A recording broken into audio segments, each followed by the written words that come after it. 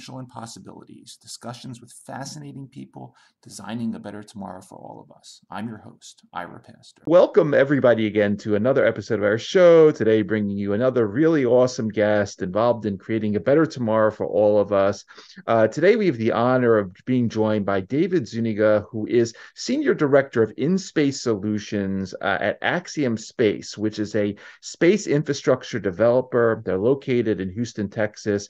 Uh, they plan human spaceflight for various government funded and commercial astronauts engaging in in space research in space manufacturing and space exploration. And they ultimately aim to own and operate the world's first commercial space station. Uh, and David is involved in helping grow the strategy around the uh, Axiom's low Earth orbit economy um, philosophy, also playing critical role in business and technological integration of their in space manufacturing and research capabilities. Uh, David has over uh, two decades of experience uh, through engineering and business development in human spaceflight uh, as well as the Department of Defense, developing system architecture, technology for deep space systems uh, involving the Constellation, the Orion, and the Gateway programs. Uh, he was a certified principal engineer for Orion's air revitalization system. Uh, he was a subsystem uh, manager for the NASA Gateway program for environmental control and life support systems uh, there, and, and, being involved in various requirements and certification of criteria for those architectures. he's also helped to evolve the strategy and growth for low Earth orbit commercialization through the Center for the Advancement of Science and Space, uh, where he helped create the pipeline and manage a, a, broad portfolio for aerospace technology development projects on the International Space Station. He's also served on numerous committees around uh, human spaceflight safety and commercialization, been invited to speak on behalf of uh, NASA headquarters per the ISS mission. Uh, and then also uh, in the past, he was a recipient of the top prize at NASA's Ignite the Night competition through the NASA iTech uh, while serving as managing managing director for um, the Danish Aerospace Company North America division. Uh, David earned his bachelor's and master's of science uh, in mechanical engineering for Texas A&M University. He also holds graduate certification in space resources from the uh, Colorado School of Mines, where he studied a broad range of topics, including space policy, economics, and space resource utilization. A lot of really interesting themes, exciting topics to get into today. Uh, we're honored to have him with us today. Uh, David Zuniga, thank you so much for taking the time to come on the show today. Thank you. It's a pleasure. Pleasure is mine it's uh, it's awesome having you, David. I you know I, I took some time you know reading up on sort of everything you've been involved in um, uh, the last couple of decades. I, I pulled down your thesis uh, back at Texas A and M, looking at all sorts of interesting magnesium alloys that have uh, interesting properties ultimately to uh, uh, to reduce corrosion and all sorts of insults that may occur in space. So you were involved in subsea research, involved in flame retardant technologies on aircraft. So eh, basically everything you need when you're thinking about sort of building a space station and protecting the people inside of it. Uh, take us back a little bit to the early story here. I'd love to hear your background, how you got involved in, in obviously interest in science, interest in engineering, but a little bit of those early days, I think really sets the stage for a lot about what we're going to be getting into on this show. Yeah, absolutely. I, I so um, firstly, thank you again for the introduction and all those sort of um, added uh, sort of uh, context. Um, you know, one of the things that uh, you know I, I kind of tell people is that you know I grew up in a really small town in the middle of nowhere, um, in the middle of West Texas, and um, it was a resource constrained environment by its nature. You know, there's no uh, water. We had about five inches, six inches rain a year. Um, you know, we didn't have plumbers, electricians, or anything else to sort of you know, do what you needed to do to go through life. So we did it all ourselves. You know, my dad was very resourceful. Um, we spent the nights, you know, looking at the sky and really just kind of, you know, being people that, you know, just wandered to the earth, I guess, around where we were. Um, but you know, it made us really creative, made us kind of think outside the box. And that's that's who, you know, my family and my brother and I are by our nature. And so, you know, that curiosity was driven from that sort of growing up. Um, it also kind of gave me an appreciation for, you know, living in extreme environments and then, you know, trying to figure out what you need to um, create that that sort of context. So, you know, putting people in um, sort of spaces where it's hard to live, um, knowing that you have to have a plan, knowing that you have to have processes to kind of come up with ways to, you know, um, go through uh, emergencies if you ever need to, and knowing what your resources are available to you and being able to utilize those was really, really important. And so, my first school I went to was Colorado School of Mines, and um, you know when i went there you know it was really kind of uh, i was looking at geophysics and engineering at the same time. And i wanted to spend my outdoors sort of looking at uh, sort of the planet looking at rocks and identifying what's around us. I thought that was really cool. But i also um, wanted to kind of design and build things and that's kind of where my path led me is like that combination of understanding resources what our planet system looks like and then also um, figuring out how to build things around that eventually um, I was able to kind of um, get a job with Lockheed Martin uh, Aerospace.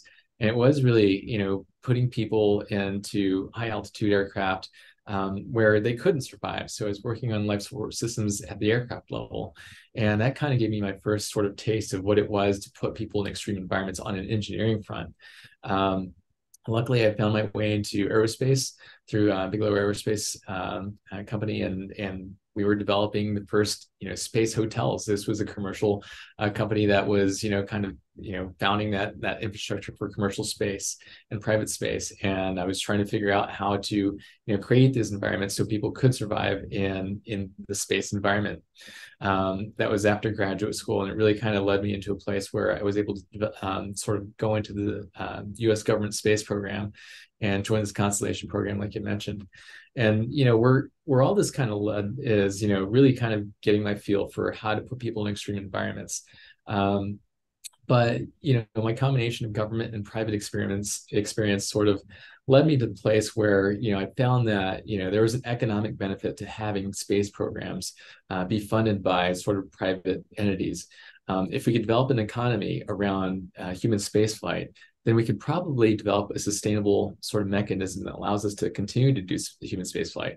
I love the constellation programs. I love government programs, um, but they they do sort sort of go through the whims of government funding. And so, you know, some some years we might have lots of funding, some years we may not have lots of funding, and so you just kind of go through these ebbs and flows through cycles. Um, if you're looking from a private and commercial uh, sort of perspective, you can kind of control that a little bit a little bit more. And so you're now sort of focused on the products and goods and services that you bring to the market that are able to create sustainability. So in a nutshell my experience in you know growing up in remote environments um, knowing how to sort of survive in uh, sort of extreme conditions working in private space, working in government space sort of led me to this place where um, I could sort of look at the world from a, a private space perspective, but also from a human space like perspective. And, and that's how um, that's that's a little bit about my background.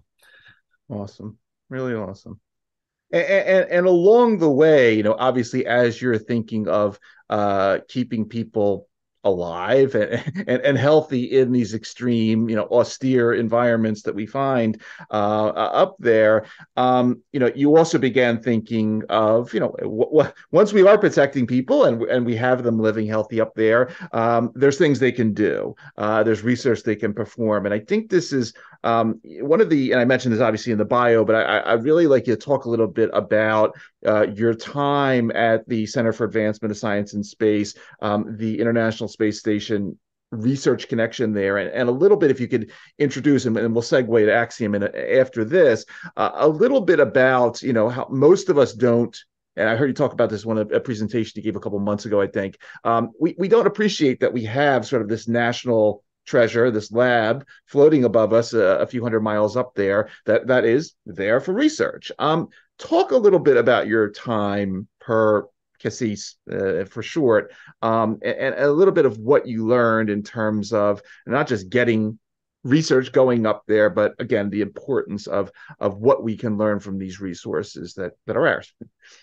Yeah, no, absolutely. So, you know, kind of like I was saying, it's like, you know, I came from this place where I was figuring out what economies operate around human spaceflight. And the next natural progression for me was trying to figure out how we take an orbiting platform, it is existing today, and we utilize that to create commerce. Uh, so my job was really to kind of figure out um, the next companies that were going to change the way we um, sort of behave in space, the way we sort of bring products to space, the way we sort of bring an economy to space. Uh, my focus was around aerospace technology, remote sensing. And so I was looking at companies that really were kind of looking at the Earth from an Earth observation perspective and figuring out how they can use data uh, to then um, develop those use cases for, um, let's say, uh, gosh, uh, market prediction, uh, weather intelligence, um, re- really just kind of giving more insight about what's going on in the planet. And you know, it was really exciting to try to figure out how to reach out to companies who are building satellites, uh, people who are building data platforms, uh, people who are even just kind of experimenting with technology to figure out what they could do um, in space so that they could support uh, people on the ground. Um, so that gets into things like you know developing pharmaceuticals or developing new materials.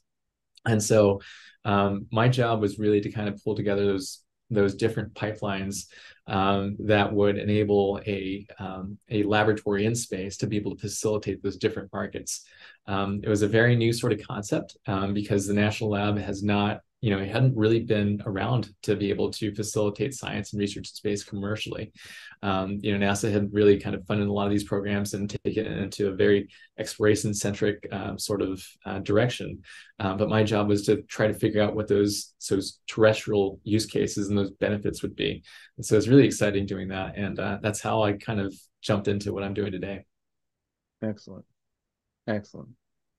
So yeah, let's um with that, let's um segue over to Axiom uh space now. And again, um the, the sort of the the company has sort of an evolution going on now in the sense that you have uh, the sort of the services component in in working to again help companies and um, you know building this infrastructure, getting experiments up to the ISS currently, but at the same time, uh, this uh, it's not that long term actually, but sort of this plan to have um, uh, a, a, private space station of your own.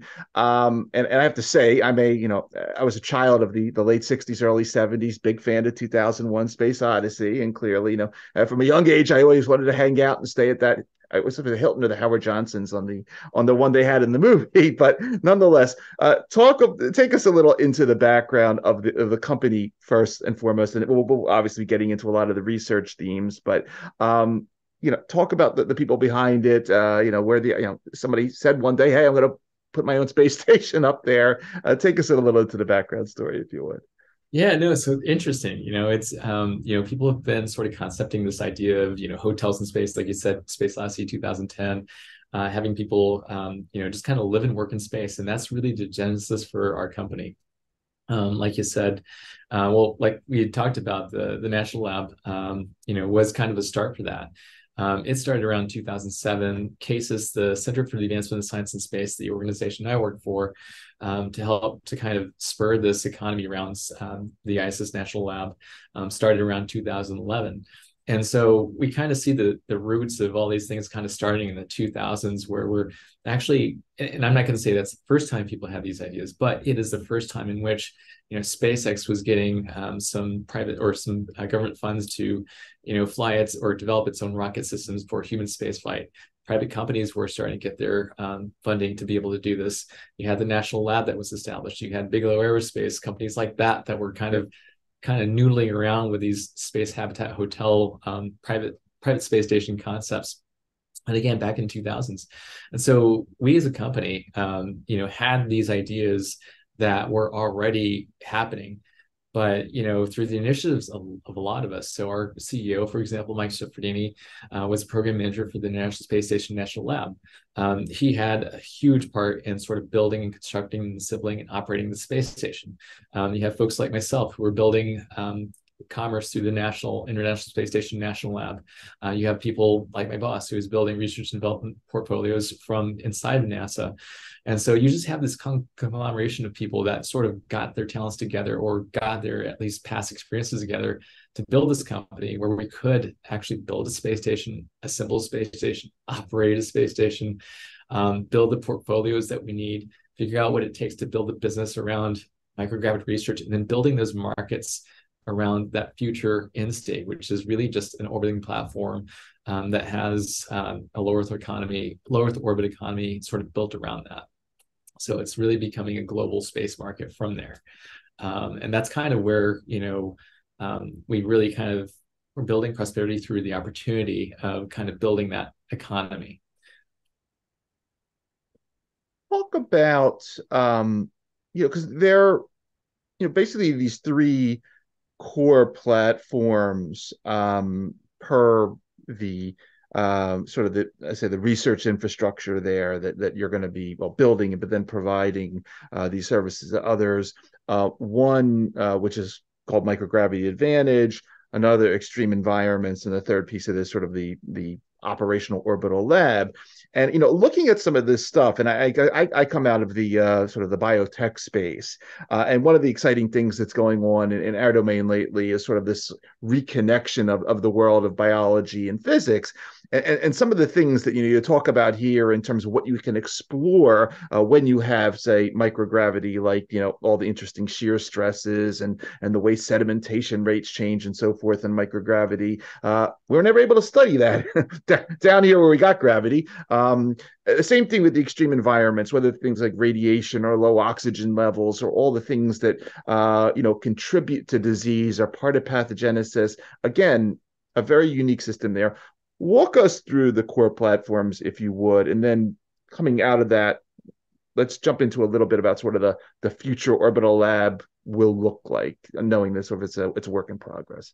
Yeah no absolutely. Um, so you know like i said there's been a group of us that have seen research portfolios go through the ISS National Lab and seen it go through um, NASA's pipeline through um, exploration initiatives. So you have things like space medicine you have you know long duration space flight um, you have things that are geared towards pharmaceutical development yeah. and then things that are geared, uh, geared towards material development and all that happens like you said because of the physics um, so the really cool thing about microgravity is it does give us that unique data point that we just simply cannot get on earth yeah. um, so everything um, is affected by gravity from the cellular growth to um, the way materials evolve and form um, through crystal growth.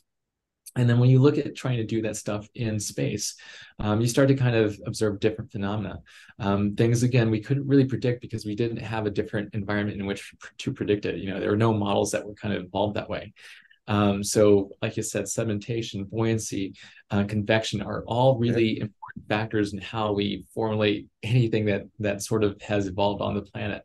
Um, and those change um, based on your different uh, place in space. So, you know, if you look at the moon, if you look at Mars, and you look at all these different sort of bodies around the universe, you're going to find um, those formulations being different. So, what microgravity in low Earth orbit does today is it gives us that first data point so that we can start to extrapolate what the other pieces look like. So, what yeah. does one day look like? How do we sort of predict that model? So, if we at least have two data points, we can start to extrapolate what things on the moon uh, look like in terms of the formation and Mars and then beyond.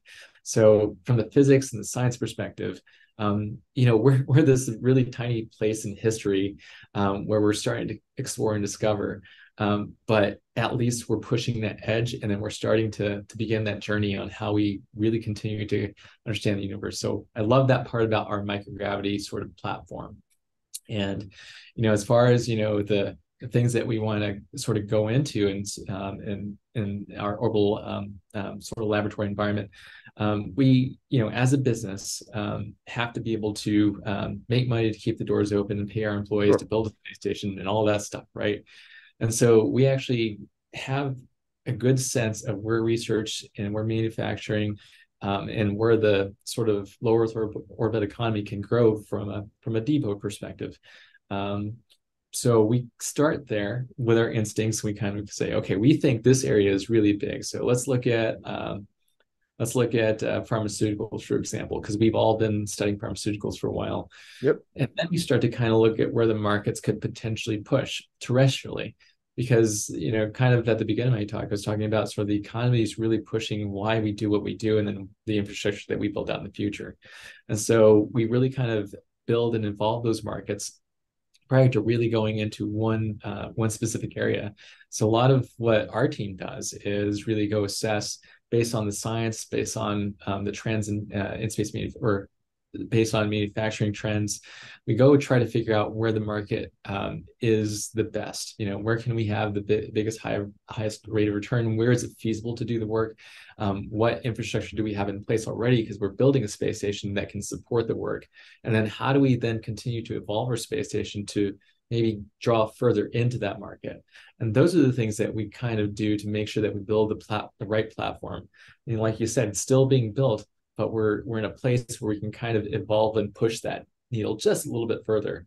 So our space station is going to look a little bit different from the ISS, and then the mm-hmm. space stations after that are going to do the same thing. They're going to kind of continue to evolve and then follow the models that the market really drives.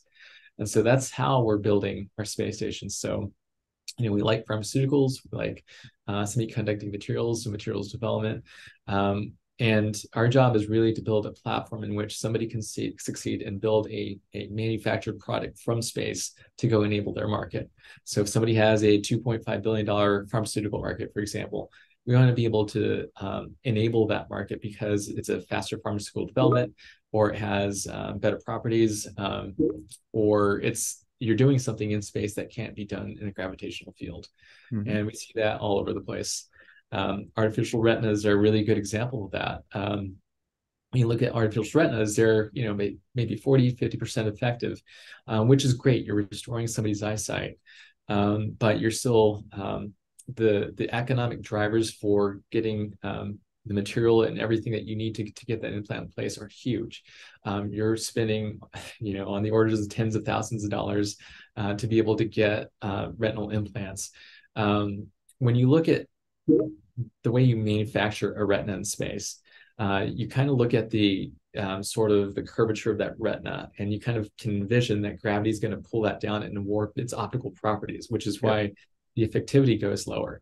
But if you look at space, you don't have gravity that's affecting the development of that retina that that that manufacture of the retina you don't have mm-hmm. gravity pulling it down and so the optical properties are more pure and they're able to provide um, or theoretically able to provide uh, better uh, vision than that you would have with a with a retina that's manufactured in space so those are the types of things that really make sense to fly also, retinas, for example, the material to to make them and uh, grow cells in space is actually really small mass, right. uh, and then the return of that is really small mass. And in space, launch costs are all all sort of uh, the the biggest dominating factor in the cost of really making something in space. 70% of the cost of a program, for example, goes towards the rocket fuel to send something to space. Mm. Um, so, you know, if you're able to kind of reduce the mass of something um, that you're manufacturing space, um, you can bring that product um, more feasibly back down and sell it competitively in the marketplace with a higher uh, performance yield. So that's those are the applications that we're really interested in pursuing, and that's how we see our laboratory growing and our economy growing. Yeah, I, I very much, and, and everyone listening and watching, if you if you go to the Axiom Space, there's a there's a nice little overview of um, the uh, the retinal implant manufacturing that, that David was just talking about, and I, I really enjoyed as reading reading through that, uh, and, and again thinking of uh, as you were saying the, the sedimentation rates, the convection flows, the membrane potentials, all the stuff that you know w- when the retina is produced originally, you know when we're in our mother's wombs and so forth, all that stuff comes into play. It's not just you know blam, here's some stem cells, and you know we get a retina tomorrow. And, and I really thought it was quite elegant uh, that particular story. So I encourage everyone listening and watching to, to go read about that one. Um, David, that that being said, could you say a few words about because I know in, in, my own sort of past experience um, with talking with folks at the the national lab, um, there was things that right like so you know if I if I am producing X Y Z biotech thing, I not only have to teach the experiment. I forget where if it was the Ames space, it was somewhere. You had to sort of teach the experiment had to figure out when the next rocket was going up. You had to schedule things and so forth. What what, what do you sort of envision as sort of that whole? Is there going to be sort of a permanent Axiom sort of lab manage, manager hanging out on the uh, space? I mean, how does all this ultimately, uh, you know, develop in the sense of um, compared to uh, sort of the, the, the current ISS model of of doing this stuff? That's a great question. I mean, you know, we we right now know how to build a space station. We know how to build those markets. Um, we know how to basically program the the sort of logistics and infrastructure that we need to go to um, sort of facilitate those growing markets right now. Um, we do not yet know how to fit that all into the lexicon of how everybody else understands space. So we are going to continue to evolve that model. Today, we have a great relationship with the, with the National Space Station National Lab. Um, again, me coming from that organization, I can talk to people um, really easily um, across the across the, the board um, to you know help us help us facilitate what the intent of what we want to go do is. So we want to go fly a thing. We want to go fly some technology or development or some research that we're going to go uh, develop for a customer and everybody's on board. They're like all right let's figure out how to do this. And so we step by step figure out how to do it in in sort of the infrastructure we have today so luckily, we have the ISS National Lab that supports um, upmass, crew time, uh, robotics use, all those facilities that the National Lab offers to a growing economy.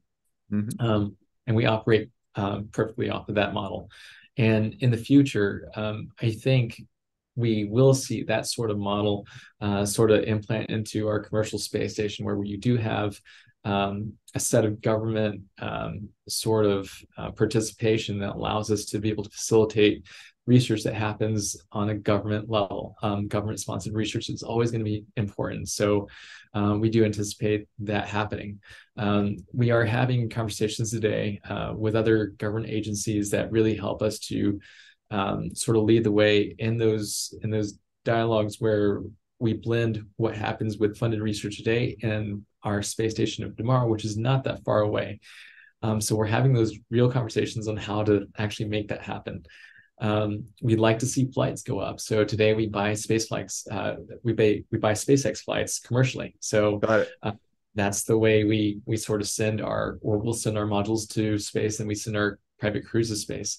Um, so right now we're um, sort of operating on a business business transactions uh, with SpaceX, and we're happy that they're there and the service provider, and we want to see that that sort of economy grow. Um, and then we're also working with the uh, ISS National Lab and government agencies to make sure that we facilitate government research and all the valuable things that we do from a from a government perspective. So we're kind of in this this place where we are um, uh, an operator of a space station that can enable both uh, sort of um, initiatives to happen. So we're we're right where we want to be. mm-hmm. Mm-hmm. Yeah, absolutely. Yeah, it just mentioning SpaceX. I mean, one of the guests I had on the uh, the show uh, last year was um, uh, Colonel um, Doc, Colonel Doctor Samantha Weeks, who is sort of heading up sort of research per the Polaris Dawn missions, uh, and and some of her stuff was uh, again, you know, focused on you know human experience you know if you spend a couple minutes out there in the vacuum and and and so forth what happens to your heart and your eyeball and all that stuff.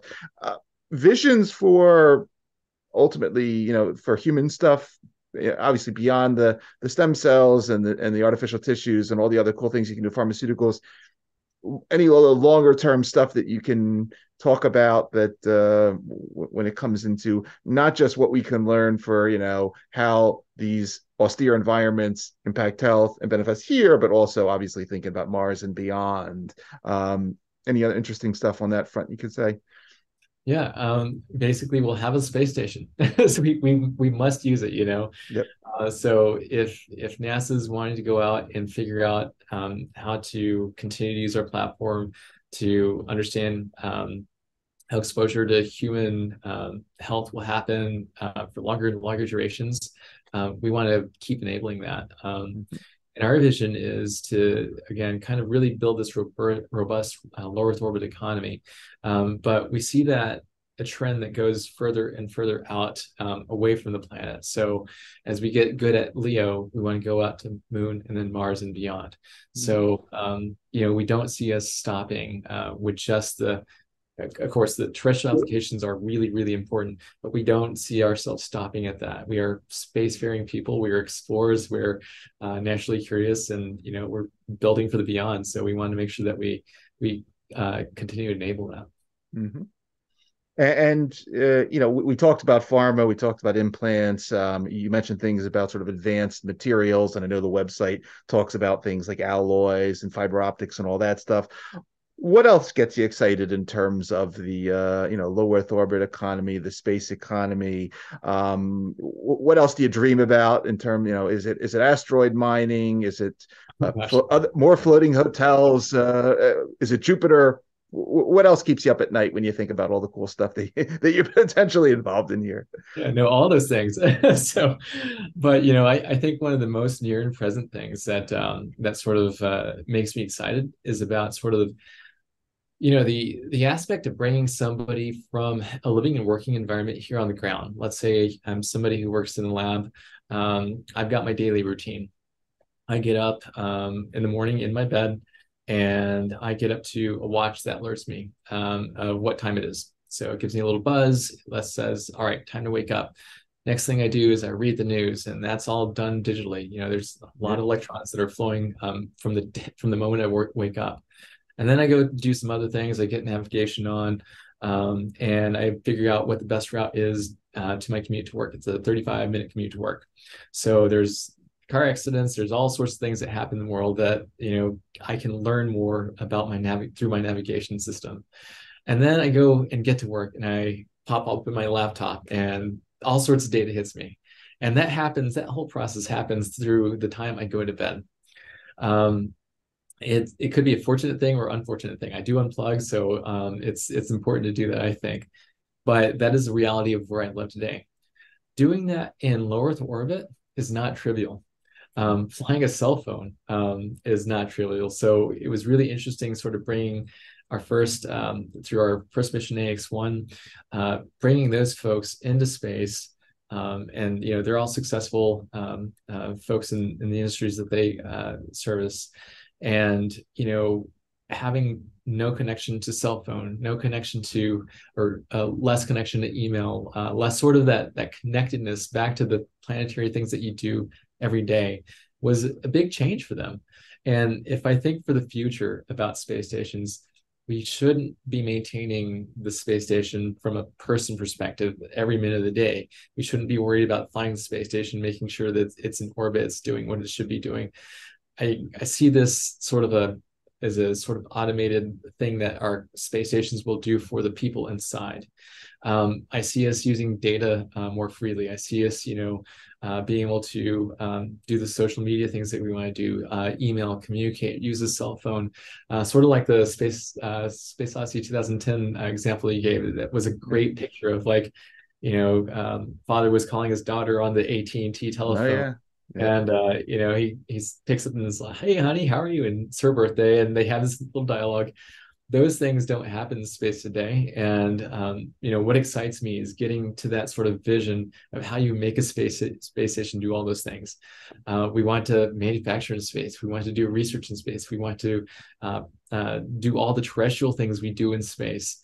And that's not a reality today. And that's kind of the exciting part of um, what i want to sort of practically do at least in my career um, I do get excited, super excited about space mining.